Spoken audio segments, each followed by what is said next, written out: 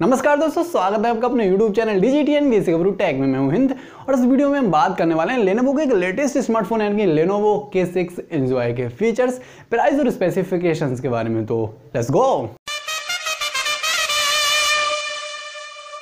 तो दोस्तों, अगर हम फीचर्स की बात करें तो मिड रेंज स्मार्टफोन्स की तरह ही इसमें हमें देखने को मिलती है 6.22 इंचेस की IPS LCD type full HD plus display जो कि वाटर ड्रॉप नॉच के साथ में आती है। स्क्रीन के रेजोल्यूशन की बात करें तो 7202 पिक्सल्स स्क्रीन रेजोल्यूशन देखने को मिलता है। इसके साथ ही हमें देखने को मिलता है two glass screen protection processor की बात करें तो मीडिया का एंट्री लेवल चिपसेट यानी कि मीडिया टेक हीलियो पी का ऑक्टाकोर का प्रोसेसर देखने को मिलता है। इसके साथ जीई एट जीपीयू का ग्राफिक्स कार्ड देखने को मिलता है। बात करें फ़ोन के ऑपरेटिंग सिस्टम की तो भैया लेटेस्ट एंड्रॉइड नाइन पाई पर काम करता है। स्टोरेज की बात करें तो चार जीबी रैम के साथ साथ टू इंटरनल स्टोरेज वेरियंट देखने को मिलते हैं चार जीबी रैम के साथ साथ चौसठ जीबी इंटरनल स्टोरेज दूसरा चार जीबी रैम के साथ साथ एक सौ अट्ठाईस जीबी इंटरनल स्टोरेज अब दोनों को हम एक्सपेंड कर सकते हैं दो सौ छप्पन जीबी तक माइक्रो एस कार्ड के ज़रिए। अब बात करें भैया फ़ोन में कैमरा फीचर्स की तो ट्रिपल रियर कैमरा सेटअप मौजूद है, जिसमें प्राइमरी कैमरा बारह मेगापिक्सल का ऑटो फोकस के साथ में आता है, वहीं दूसरा कैमरा पाँच मेगापिक्सल का डेप्थ सेंसर के साथ में आता है। बात करें तीसरे कैमरा की तो आठ मेगापिक्सल का टेलीफोटो सेंसर के साथ में मिलता है।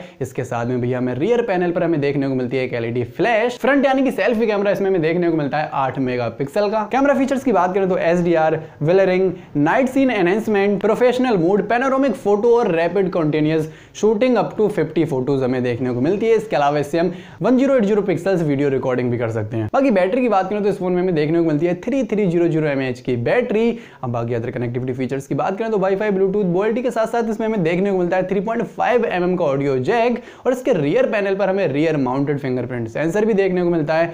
बाकी बात करें फ़ोन की कीमत की तो भैया चाइना के हिसाब से इसकी कीमत है चौदह बाकी तो भैया इसमें क्या सही है, क्या गलत है, ये तो लॉन्च होने के बाद ही पता चलेगा। फ़िलहाल इंडिया में लॉन्च होने के बारे में इसकी कोई जानकारी नहीं है।